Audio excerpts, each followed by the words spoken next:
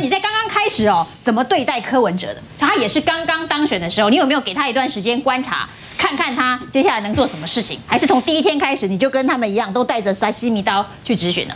其实我不只是我，我们所有台北市议员观察他观察了三个月。因为十二月二十五号就职之后，一直到四月九号才正式开议，所以观察他三个月。那其实我对柯文哲一开始也是有期许，就像我现在期许韩国瑜一样，即便他政治立场跟我对立，我认为韩国瑜跟柯文哲当初四年前一上任的时候其实一样，所以我要我我一样啊，会送他一件东西。如果我是高雄市议员。到议会，到台北市议会，我送他的第一件东西，我对他有期许，我送他一个本机跟一根汤匙啦。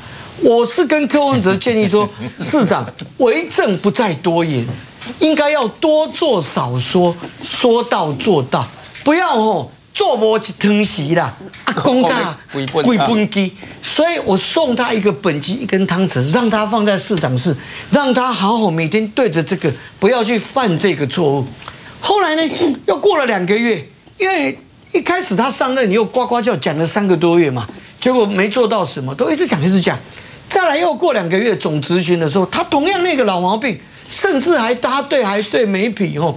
抱怨他说啊，他每天啊八点不到就出门，有时候晚上累到十点才回家。所以我第二次他来的时候，我就送他一支廖贝亚的抓氧器。我就跟他讲哦，市长，市政资源有限呐，推动市政就像抓痒一样，要抓到痒处了。你不要哦，就会唔白啦。我就会背个会劳会地 哦，所以我送他这两样的东西，其实都有很大的意义，而且对他是期许。那我认为，柯诶，韩国瑜现在在高雄，类似犯了这样子的一个毛病，就是说讲的太多哦。那不是说讲不好，问题是说你现在再来要面对的是每天市民的柴米油盐酱醋茶。高雄的产业不只是观光，观光产业占总体量占不到百分之五。另外，我们还有很多产业，很多要去从事，你你政府要带头的，包括硬体建设哦，交通工程建设，包括软体的教育等等，这些你韩市长你都必须拿出硬底子的功夫。我举例啦，他可能还没有经过深思熟虑，因为在我的看法是这样。经过深思熟虑的一些政策，我们可以理解为什么韩国瑜当初去选高雄市长，他准备不到半年，所以我知道他是我六个字讲：先上车后补票。哦，好了，那你上了车要补票，你需要一段时间，这我们接受。所以我是希望，比方说，我举一个具体例子，他现在上任不到一个月，他说啊。这个轻轨啊，它要停建。那我跟韩市长提醒他，就是说，第一点，轻轨建设不是为任何人做的。当初陈局市长也花费很多市政的资源预算下去，请专业下去评估。那么有去专业评估，这个评估不止一次哦。评估完以后，再评估之后，再第三度评估是送给中央交通部。所以交通部也是一再反复的审酌评估之后才决定，所以轻轨才下去做，现在做了一半。所以当你要反对这个可以，可是你也要有详细，是不是？你有相对应，也有相当的评估。You can't beat something 哦，with nothing 嘛。你要英文闹得很多。Over my 支持韩国瑜的双语教育。对，我做几期啊？你身体力行支持双语教育。我对韩市长，我嘴巴批评他，我心里某个程度我还是支持他的。是因为你你讲，我意思就是说，他要有相当的理解，要不然你要推翻的这个事，人家多少专家。也花了市政资源，也花了中央资源下去分析哦。那第三点，韩国瑜他的讲法是说，哦，那为什么轻轨不好？他说，那捷运啊，高雄市民现在使用的交通习惯是自小客或者机车。像问题，这就是鸡生蛋还是蛋生鸡的问题。大众运输之所以不普及在高雄，是因为政府没有把大众运输大量的去做好。台北市的捷运第一条木栅线，民国八十四年陈水扁推动的第一条，刚通行的时候载客量非常低，个位数字几万人。可是当十字路行淡水线出来了，甚至双十字成型，台北市现在一天两百万人次通行。那如果台北市没有捷运，现在一天消化两百万人次的交通量，台北市现在会塞的大概比泰国的曼谷还要严重。所以鸡生蛋，蛋生鸡的问题哦，先部件大众运输，还是说先有运量再来做这个？韩市长，你不要把过去谢长廷、陈局的一些努力、一些奉献，只因为政党属性不同，只因为政治立场不同，不要把他们种种的哦贡献作为把它磨灭掉。刚刚世坚分享了这个跟柯文哲第一次，我要补充一下啊，其实韩国瑜市长他现在他有很清楚的表示说，他要暂停轻轨二级，并不是因为他说只是纯粹。高雄市的公共运输的运量不足，而是主要是沿线居民的大声反弹呐。第一点，这个声音难道陈局当市长没有听到吗？当时已经有了。我在议会还是我一个发起人，我们希望要求扩大民众的参与，来决定要不要新建。但是我们被陈局的网军到处的攻击，所以这个你要先清楚。所以它不是因为运量低啊。第二点。高雄的运量会低，民进党执政二十年，为什么公共运输的运量那么低？陈局要先检讨。所以我要先补充的是，韩国瑜他的二期，他所要暂停是希望沿线取得沿线民众他的同意，广听民意之后，他再来决定要见不见。我觉得我还是要帮你补充这一点。韩国瑜才刚刚当选没有多久啊，所以这个时候对韩国瑜做出全面的围剿。呃的民进党的这些议员，坦白说，不会给民进党加分。他们如果能够给韩国瑜一些时间，看看韩国瑜能不能够落实他的政见，看看韩国瑜完成他政策的绩效如何，再提出批评或者是质疑哦，恐怕呃对民进党来说才有加分的可能。所以在这个时候，当然，呃，用各式各样的造势、各式各样的取巧，或者是用各式各样的噱头，甚至拿出各种道具哦，我相信都可以预期的。那这些人只不过想借着打韩来加分，为了自己加分，但是并没有办法为民进党加分。我们当过民意代表很久，所以我们很清楚，为自己加分跟为政党加分，有的时候未必能够画上等号。那打韩国瑜打得重，也许对这些。并不是单一选区选出来的议员来说，可以得到他们的传统的选票、同温层的选票，或者是基本教义派的选票。所以，当然在未来的呃这个执询过程当中，我们都可以预期到，高雄市议会一定是一个精彩可期的这个市政答询的过程。只不过是，如果我今天是民进党的高层。我会希望我的市议员能够有比较有质感的表现方式，因为显然这些表现方式对民进党来说，尤其是对即将面对二零二零民进党中央政权的保卫战来说，绝对不是一个有建设性的工作。所以希望他们的质询能够有质感一点，不要摧毁这个韩国瑜市政府的质感吗？尤其是这个时候，这些质询如果正当性不够，只是为了表达力道，只是为了表达自己很勇敢，甚至有太过于激情的演出。呃，作用力有多大，反作用力就有多大。所以这些攻击、这些批评、这些质疑，或者是这些不合逻辑的质询，最后只是帮韩国瑜加分哦，只是增加了韩国瑜的能量，让韩国瑜再次的成为全台湾大家举足轻重、万众瞩目的蓝军的第一把手。所以，当然，在国民党的角度，我是很乐见民进党的议员尽情的挥洒跟表现。但是，就政党良性竞争的角度来看，我当然还是要善意的劝告他们一下，不要为了自己出风头，不要为了自己这个博美光灯，却毁掉了你自己的民进党。你跟赖清德的第一次，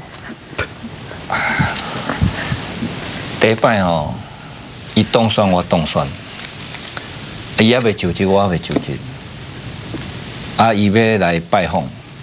我讲哦，未使去阮兜来服务处，因为咱是好朋友。但是你即马是市长，我是议员啦。公司、公众事务来办公室讲，过来，你未使带水壶哦。啊，你叫咱一个共同好朋友载你来，因为我毋知你要甲我讲啥。啊，有一个好朋友啊，啊，我带一个好朋友，你带一个好朋友，咱互相拢熟悉。但是伊，我认为讲，伊是起码的这个部分是正人君子啦，吼，有了解下。咱台南市吼，你来看，你有啥物问题啊？建议我讲，你今仔下晡伫警察局做一个决议，讲双行政中心嘛，台南市甲台南县两个行政中心拢留咧，然后甲警察局刷去台南县新营，结果首长是伫台南市上班。我讲即马民众真情抗议的事件遮尔济，啊你是安怎？甲警察局刷去啊！安尼民众民众真情抗议是针对你市长啊，这无符合这个作业嘛。而且警察局局长啊，拄啊有状况要来，甲新营来到市内爱五十分啊。即个讲，这是伊做市长还未就职所做的第一个决议啊，所以未使改变。安尼你就知影由外体讲固执。完了，过去的升级唔得做好，我安尼，我有你一年的时间去评估这个双行政中心。你毋知安尼一年台南市要加开几年？八年都来加加开，加浪费偌济？每一日敢用游览车，载这新营的人等于下班上班，这卖个讲公文往返，但这对甲毋对，后壁无去检讨。哦，当其时都第讨论这第二，杨家兄，你看咱台南市安尼土地规划，你有啥物见解？你针对中话吼，有啥物看法啦？啊，你都已经去问了啊！你准备倾向公办、私办的拢要死啊！我讲足简单，公办来投资，政府甘愿投资了，甲这个清水的环境用了，那呢？这个中话创造伊的价值，对市政财政的收益有帮忙，最好。但是台南有足者庄卡无发展，迄个三角六翘肉粽地，你政府投入了一定了钱，而且面积遐尔小。你无可能拢甲 A 机袂使输班，所以输班你爱互因会当办，改变市容啊，公班你爱做长期的规划。多两个安尼讲了，我要互伊一年的机会去做。即摆伊就职我就职，无偌久，北门病院火烧烧死十三个，伊去看着伤的，无去看死亡的。我讲你哪会使安尼呢？迄死亡的人。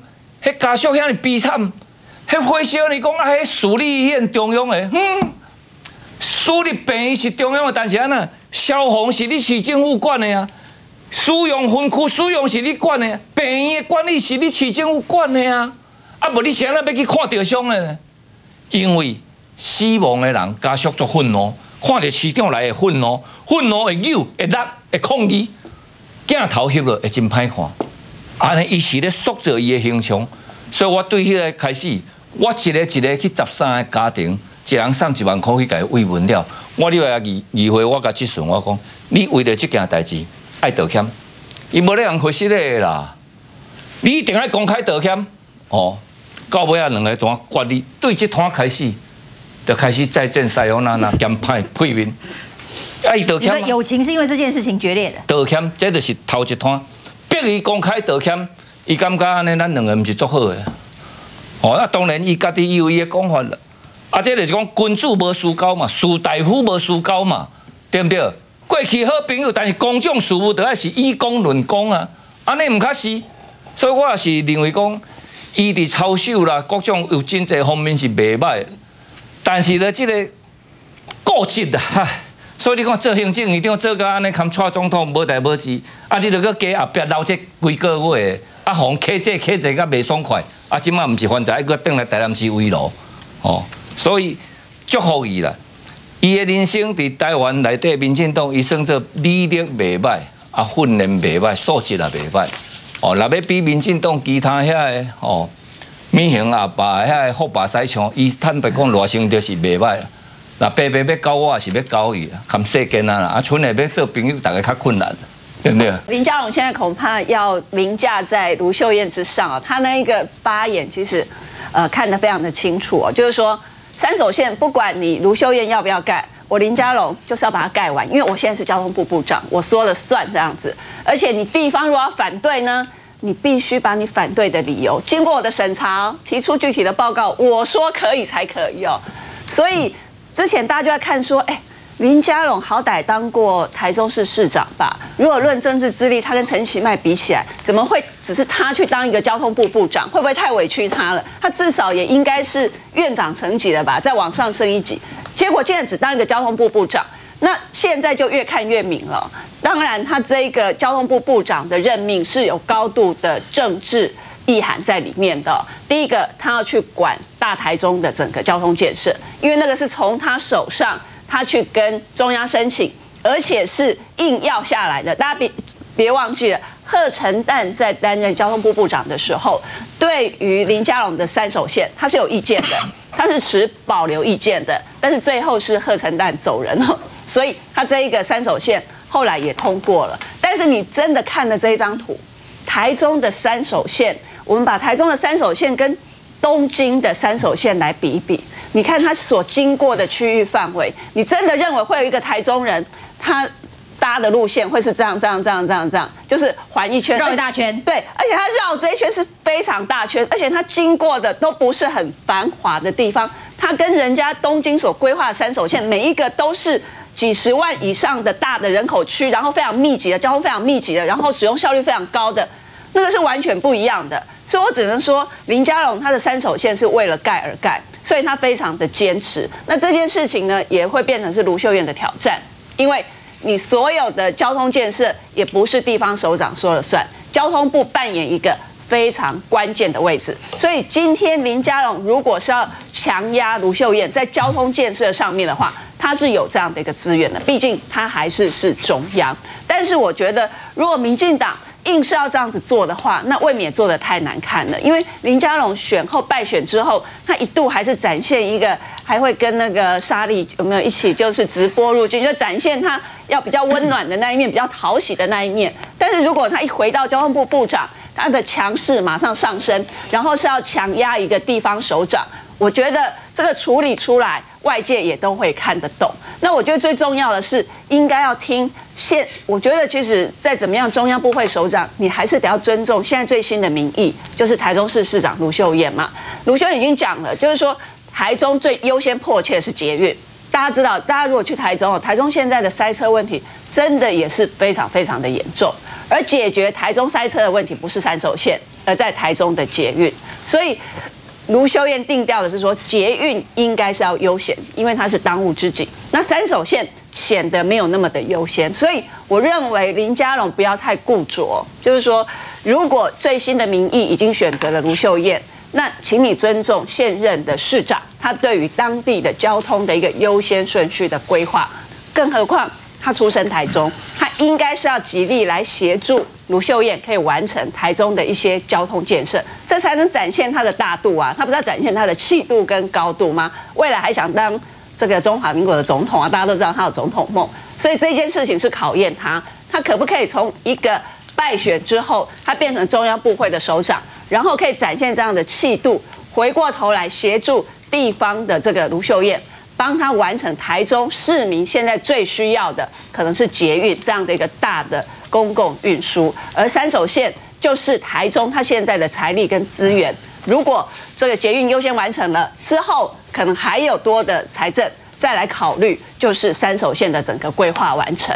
要不然，如果在这件事情最后演变成是前后任市长的政治角力，我觉得台中市民也会看不下去。那台中市民可能比较会谴责，会是林佳龙，因为你毕竟待过台中市。那你现在好不容易在交通部有这样的资源，你不帮台中，然后还要跟现任市长作对，我就对他是不利的。蛮吊诡的哦，就是，呃，以林佳龙在败选之后他的角色，跟民进党所希望展现的氛围，理论上来说，民进党的中央政府应该不会对国民党所当选的地方政府采取这么呃决绝的手法哦。但是这样的一个争议，不外乎几种可能，第一个就是意气之争嘛。就林佳龙觉得心里头不舒服，这是我定的方案，你干嘛要推翻我？所以我现在当了交通部长，我就一定要贯彻，这是第一种可能。第二种可能是专业的问题哦，就林佳龙认为高这个大台中地区需要，可是卢秀燕认为出资比例不符合哦，所以现在做这件事情划不来。而且刚才玉米也讲到了，我们现在看这个地图怎么看，我也看不懂，说这个大三手地线到底对台中有什么样具体的影响哦？第三个可能哦，是我最不愿意猜测的。但是在我们过去从政里头担任过民意代表，我们看过这么多地方政府，也不是没有可能的。其实卢秀燕应该去查一查，过去的大三手线地区周边的土地到底有没有涨啊？有多少建商已经去布局了？如果今天大三手线没有盖，损失最大的是谁？是台中市市民，还是现在已经去买好地、做好布局、准备要推建案的建商了？我认为这才是一个关键问题啊！我想世间我们做过这么多民意代表，这么多年民意代表，其实所有的地方轨道建设带动的是什么？带动的是周边土地的价格，跟带动的是周边的房价。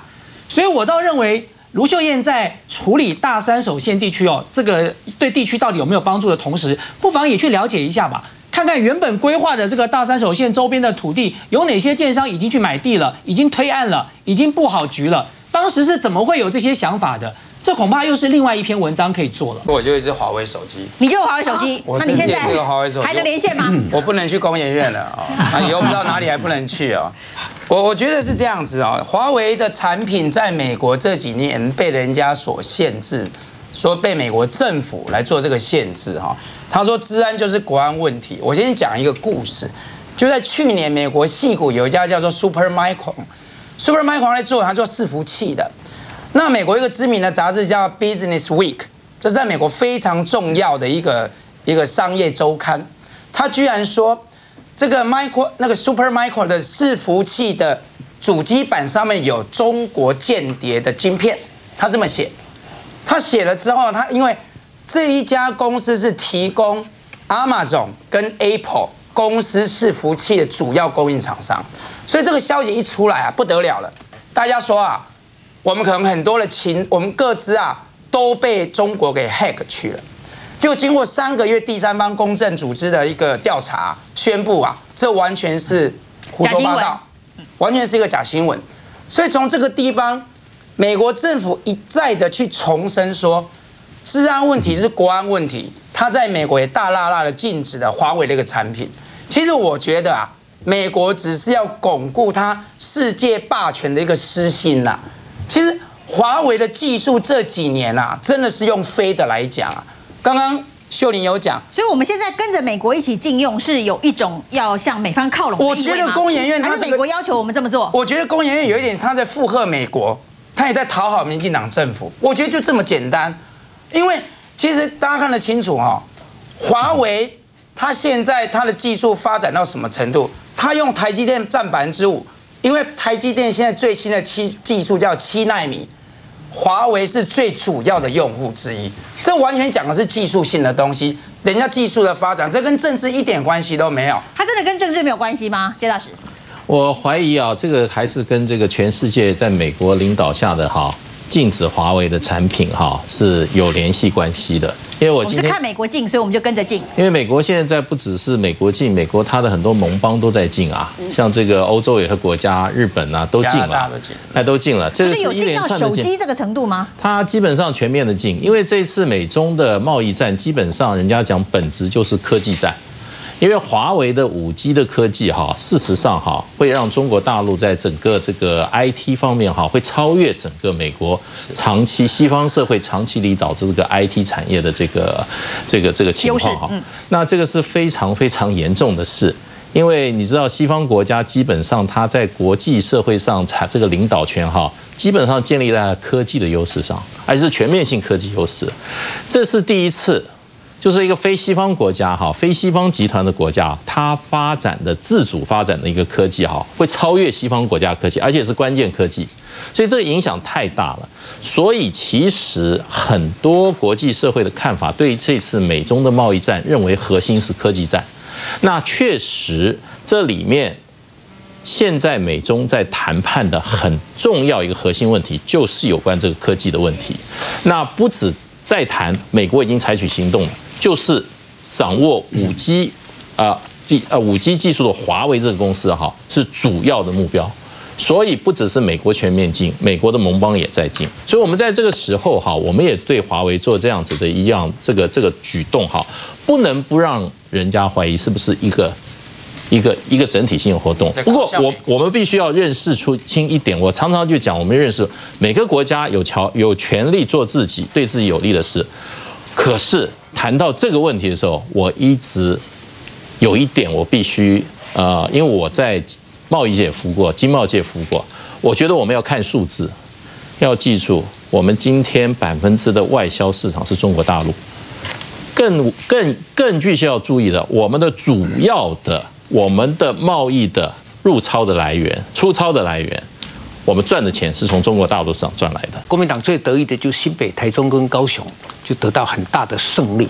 呃，所以呢，他的这个支持者，或者是他潜在的，或者是一直是的、一直是存在的这个对手，大家都在看，看你哦有没有搞出一个名堂来。所以我觉得韩国瑜啊，呃，他不笨啊，他恐怕还比一般人来的机灵。哦，所以我们这样提醒他说，我们为你担忧啊。他其实心里说不必的，我当然知道。哦，所以韩国瑜这次选的那么漂亮，那么好看，让民进党十分的真的伤到骨子里头。我觉得他最大的一个特点就是充分的发挥着所谓庙口文化。那庙口文化，你们这些年轻的也许都已经没有看到。我小时候啊，这个是晚饭以后庙口文化就是。免费的，甚至是廉价的一个凑热闹的，然后去看个半小时回来，就好好塞卡去喝糖给滚啊！哦，你说庙口的什么布袋戏呀？不是不是，这个就不是布袋戏了，不是布袋戏，他是就基本上都在卖药。哦，他是在卖药，但是呢，他要卖药，他一定要让人这个人群哦，要人进来，要人进来，他要卖的出去，他的人对对，他的人如果不达到一定的水准的话，他他庙这药没有人卖，所以他一定爱吼怕热怕够哈，敲锣打鼓，然后很热闹，哎，进来看，进来看，慢看，减看一半呢吼，啊，就轻轻讲讲啊，就还啊，人就追给啊，小孩子都挤在前面了，那等到吼，等到他真的要卖药的时候。其实人都会走开，因为因为大部分都觉得我不需要那个药。哦，还有还有还有很多人不相信，就是在地板上摆的那些药。哦，所以他要他卖了，他开始前戏啊，这个这个前菜啊，就那么多人来了以后。他要撑住，你知道吗？就是说，他等到开始要人叫来这件事情，开始要收钱的时候啊，这些人不能散掉，这是要看本事。所以，韩国选举的过程中啊，所谓这个爱情摩天轮啊，变成爱情的产业链啊，或者是说招商陪税啊，哦，或者是这个非常廉价的医美呀。这些其实都是钱财了，都是钱财。那他现在就说这些钱财算不算数？如果算数的话，他就要把它转变成里头正式要卖药的部分。那我是有一点怀疑，这些东西啊赛马，要转成正式的卖药，或者是这个这个医美的部分，他去。看了一次高雄长庚也没有下文了嘛，哈，所以这些都很不容易。现在好像已经有一些健检团自己来了啊，对，把这些都都我我认为啊都很不容易。那我们当然希望他成功，连陈其迈都不敢说不希望啊。好，现在我们朝野有一种很诡异的气氛啊，就是政治就是零。经济就是一百，那也是鬼扯啦哦。因为什么？当你强调说我们两岸啊这些都可以摆下来啊，都可以不去谈，那个就是很政治哦。那个怎么是政治零呢？那个政治是很高的，大家不要忽略。我跟你讲，习大大也在北京正在想，妈，你们这些哦台湾人哦靠这一套，竟然还糊弄的有那么多的选票哦，竟然没有政治的，通通搞经济，竟然还要我来买你的东西，我还要放这个观光客到台湾去。徐大大说这还得了？这我有一天收复台湾的话，都来这一套的话。那我怎么统治台湾呢？他刚刚听你的庙口文化，他应该有点懂了。呃，不，他们会轻轻学，他徐大大也不会比韩国瑜笨啊。哦，那所以呢，他现在这个他晓得这个要撑住哦，所以你看他的官船局局长就这一套很厉害，他花样真多哈，又琼瑶也来了，谁都来了哈，还有永浴爱河啊，哦，天作之合啊，这一连串都有，这个就是要撑住的场面。但是呢，韩国也知道他一定要有主菜，而且主菜。这个短时间内不会有效果，但是一年两年，大家总要说，哎，你一定要有一个结果。其实不能等一两年哦，因为我觉得国民党这个二零二零的选情啊，有一大部分是要看韩国瑜的哦。如果韩国瑜哈还算可以交代的话，那国民党这口气可以一路延下去。如果韩国瑜到后来到一年下来都什么都没有的话，我觉得国民党要比韩国更紧张啊。哦，所以他下去拜访这些这些企业。我认为哈，国际啦、日月光啦、华邦电啦，据我了解，这三家公司的老板一点都不绿啊。这些公司，如果你要看看他们的这个背景啊，他们的政治倾向，我都认为他们还算甚至。那为什么选前都挺陈其迈的？不，我他这个就是刚才讲的嘛，这个刚才已经他已经讲了，因因为哈，不得不低头。不，因为民不与官斗嘛，民不与官斗，所以哈，他比如说他。就一试一试啊，投资几亿啊，也也无伤啊，也无妨啊，哦，所以这些我认为都是偏蓝的公司啊，所以韩国瑜简还是简从最简单的入手啦，哦，因为这个什么鲍鱼啊、鱼翅啊要在后面的、啊，所以呢，他他现在要去访问这三家，其实有护盘的味道啊，护盘。护盘要顾顾盘也好，护盘也好，因为这三家都公开的已经挺陈其迈了嘛。啊，你总不能说陈其迈落选，我当选了，你们现在都跑掉了，都说不算不算哦，就好像那个郭台铭在所以用陈其迈绑住这三家公司不。是啊，你看郭郭台铭在威斯康星都有的时候说他要砍半啦、砍三分之一啦，政情不一样啦，地方不配合啦，所以我觉得韩国郭台铭也要来，哎，所以郭，所以哈、那个这个韩国瑜啊，当然要把这三家已经答应的，算是陈其迈的成绩的，他要护住。哦啊，这个各个造起来的话，就韩版的，你本身就有个本档，哦，所以所以这三家不会不会那么北棒啦，他一定说我我我答应的哈、一定有，而且恐怕不会少还会加码哎而且再加再加一点让你好看，我我觉得都不排除。我觉得对这个韩国瑜最大的挑战，就是除了这三家以外，更像样的。更大规模的，能不能因为你韩国瑜这样的市长而进来？因为平常讲这三家所做的东西，第一任还可以的，什么这个这个、呃国巨啦、日月光啦，他们其实他们的科技的层次哦，都不都没有那么高啊，都没有那么高啊，所以他如果能够在这三家以外找到以前对民进党政府没有承诺，而现在因为大家都看好，就进来了，而且呢，那个规模推荐几个名牌让他而？而且规模更大哦，这金额更多，那就是成功了。但是呢，这些从答应啊，通过环评啊，通过什么什么一路到真的有成绩可看的话，恐怕要到第三年了、这个恐怕都缓不济急啊。但是韩国也还是要做，因为不做不行。所以我刚就好。大家爱选举哦，啊，大家爱买讲的动算，啊，被做市长，要做下？你看，你你你选前啊，答应的、承诺的，而，打得最最热闹的，你现在哈、就在承受你当初把它搞得那么热闹的后果。我认为，我认为韩国瑜是很辛苦的，而且我看韩国瑜的健康状态啊，并不是百分百，我觉得他还是要稍微休息一下哦，不要老婆说选举期间那个感冒可能还没有完全元气恢复。不是啊，他就要挑爱河。老婆说，所以你不是一天到晚都在爱河里头吗？像这样哦，就不要 double 爱河，你知道吗？这个身体不好。最新的剧情呢，就是监察院昨天以七比四弹劾了管中明哦，原因是他在担任国发会主委期间呢，这个写了专栏，然后呢领了稿费。那这一个弹劾的委员会是由陈诗梦所主持的。看到陈诗梦，大家大概就了解说这一个弹劾所谓而来啊。他说呢，监察院对管中明担任国发会主委期间。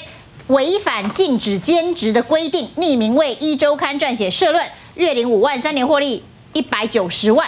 如果是偶一为之没问题了，但他是长期经常性的公稿，所以就依法弹劾。好，所以是因为他在一周刊写了一个专栏，然后认定这是公务员违法兼职。那管仲明这边第一时间的回应是说，他如果看到公文之后，还会再跟律师团讨论如何回应哦。那不过律师团之前都已经写过相关的诉状给监察院，不知道监察院有没有收到？那监察院呢这一次弹劾管中明的理由，引用的是全序部的几个函呐、那包括了全序部的。二零二五号函告诉大家的是说，公务员私下打零工啊，如果本职无涉保密性及专业技术性，无损公务员尊严者，尚非违反公务员服务法第十三条经营商业及私下打零工，这算不算私下打零工哈？那另外呢，这个全剧部零九九三一八五二四零号函说。公务员如果担任电视或广播电台的节目主持人，性质应该属于非常态且未知情者为限了。这个就是俗说的彭文正条款，他担任常态性的节目主持人，这到底算不算是兼职？那彭文正因为同时担任政论节目主持人跟台大的新闻所教授，教育部因此定出的彭文正条款，说要非常态。未知型哦，那它是常态，所以他当时被认定为是兼职。那全剧部第一五五三四四一号函说，公务员在参加电视节目演出哦，就是一般上通告，那业余性质而无金钱报酬之给付哦，不妨碍本职之工作，非违反不得兼职之规定。所以呢，公务员参加电视节目的演出要业余性质，而且呢要没有薪酬的报酬。才能够算不是兼职啊。那其实呢，这整件事情到底写稿、写专栏这件事情有没有违反公务员不得兼职的规定啊？曾经有司法院大法官会议有过一个解释，就是全序部去函要求大法官会议解释哦。大法官会议应该就是已经是最高最高最高的法令解释机构了，应该不会有人比他还要高了。监察院应该也没办法超越司法院的大法官会议哦。这个大法官会议解释说。公务员不得兼任新闻、纸类、杂志类的编辑人、发行人、社长、经理、记者及其他的职员。至于哦，报社特邀专栏撰稿，如果不涉职务之事务，尚无禁止，所以没有禁止专栏的撰稿。但是监察院呢，在提到说。管中明是违法兼职的时候，并没有参考法官的这一个解释，所以这整件事情是不是所谓的四大佬之怒的后续啊？那这个后续，在蔡英文总统说我没有同意管中明上任，是叶俊荣自己偷跑之后，监察院就做了弹劾的决议哦。这中间是有政治剧本的嘛？我觉得这是一件非常严重的事情哈，就是说，首先呢，就全序部的 这几个解释，你可以清楚的看得出来，就这个事情本身啦啊，管中明他其实毫无违法的事实，那他也不是去一周刊，就他不是去媒体上班专门的撰稿，他基本上就是投稿，那可能一这个媒体呢给他稿费的方式比较优渥，但是他并不是在那边兼职，更何况已经有写了，如果你是投稿的话。根本就是跟这个你的这个，反正就是他就是没有违法的行为啦。好，那简单讲回来，这其实一模一样的啦，跟他要去出任台大校长，他的整个的遴选的过程，他的资格其实是完全合法、合乎规定的，他也没有任何的问题。那为什么他一年多没有办法上任？所以这件事情就是很简单，就是绿营有很多人把拿到政权了之后，包括像台大。这种与政治无涉的最高学术机关，他都要把它当作是好像个人的私产或者是痉挛。所以呢，在民进党内或绿营内部，类似像李远哲这种自诩为学术上面的大佬、老大龙头，所有全台湾都要听他的。中研院的院长也要他指定，台大校长也必须是他的人。怎么可以是一个跟他不同政治色彩的人来当台大校长呢？所以。开始私设行堂，一一路猎巫，一路追杀管中明，一路党管。那到今天的监察院的做法也是一模一样，那让全台湾的人都看不下去了。可是我觉得很悲哀，民进党内部的人跟随起舞，喊打喊杀，换了几个教育部长。最后，在民进党彻底崩盘败选之后，在清理战场的这样子的一个档口，叶俊荣终于让管中敏上任了，就像他们终于把吴英宁换掉一样。可是四大佬依旧不爽，仍旧很怒。当时叫你们换管吗当教育部长，你们不换，党管党的不利，然后现在又让这个根本选不上。总统的蔡英文无法连任的蔡英文还想继续连任，还把管还让管中明莫名其妙的上任了，所以四大佬他毫不忌讳出来就讲了，训了总统一顿。我觉得真的是非常悲哀，这些人毫无民主素养，毫无法治素养，而且呢，他好像觉得他讲什么都是对的，他讲什么都是天条，我们所有人通通都要膜拜，通通都要跟循，也不把民选的总统蔡英文放在眼里。之前已经受到羞辱了，今天还是如此恣意而为。但我觉得很悲哀的是，蔡英文，即便是如此，他还是要讲，还要在后面画蛇添足，来个这个真的是很多余啊！哎，我当时其实是真的是不知道啊，我真的是被叶俊荣给突袭了，我也说不可以这样子做啊，很后悔没有打电话阻止他。到今天他还要演这一出戏，我真的是觉得太悲哀了。一个民选的总统，而且他当时是大赢对手三百多万票，可是他却没有足够的政治能量来处理党内的这些东西，包括吴英宁，包括管中敏，都不是在他的施政优先顺序上面，更不是蔡英文主导的民进党政府想要开辟的战场。但是他们都整个府院党被卷进去，而且在里面简直是陷入十八层地狱嘛，无法翻身呐！今天又来了。我觉得怎么会有一个政府被一群莫名其妙的人挟持至此？那他们却不能够迎面的去面对他们。那民进党只要有一天，不管谁，从以前的陈水扁到今天蔡英文，更不要讲他们党内其他的人了，没有一个有办法来面对这一群莫名其妙的人，这种是民主毒瘤啊，就跟刚刚讲的三立是一模一样的。这是什么水准？这是什么内容？三立的吧不读册的算了啊，这些都是堂堂还得了诺贝尔奖嘞。所以，那他因为他不是诺贝尔民主奖，也不是诺贝尔和平奖，也不是诺贝尔法律奖，他的专业化学可能很厉害啦，但是其他的教改被他改得一塌糊涂，他根本就已经是变成台湾教改的罪人了，如今却还是如此傲慢。不过呢，我稍微补充一下，我对韩国瑜一点都不担心，也一点都不需要紧紧张。从他选举不可能选上。他的命就很好，就有逆增上缘。民进党就不知道为什么吃 错了什么药。最新的话，对，我觉得逆增上缘啊，真的是这样啊。他就不，民进党就集体不知道吃错什么药，只要遇到韩国瑜的时候就出来乱骂一通，然后就越骂越红啊。你想想看，如果没有邱意莹，怎么有今天的韩国瑜呢？所以今天这一群民进党，然后什么三立电视台也是一样啊。他如果说我认真问政，未来马上要登场的这些民进党四议员。想要红，最好的方法就是搭上韩国瑜嘛，要不然就当韩国瑜朋友，要不然就当韩国瑜敌人，就这么简单啊。但是问题是说，他们这么瞎搞，我觉得就更不需要担心韩国瑜大佬们还了几霸缸啦。尹家郎哈，这质感也不会提升，就说他们乱韩国瑜、闹韩国瑜的质感也就是这样，也就只能这样，也就一直会这样。他这样子下去，那这韩国瑜没有什么好担心的，就是每天都高枕无忧啦。而且刚刚讲到他太太韩国瑜还出来讲，那一天坐车也不敢坐公务车，他的带去的礼物也是他们自己掏腰包去跟七月捐热捐来的，也没有用一毛钱的公务预算，所以韩国瑜不是素人呐。我说实在，他也不是柯文哲跟柯文哲他老婆啦，他太太也不是素人，他们曾经都有政治历练过。其实他政治 sense 是非常清楚，他也很清楚说大家会拿放大镜、显微镜去检视他，所以我是一点都不担心。更何况这些人的放大镜跟那个显微镜都过期，都有歪掉，那个聚焦都不准，都乱乱照一通啊，所以就变得，我觉得他们这些人真的是，我这么认真的浮选都不如他们呐。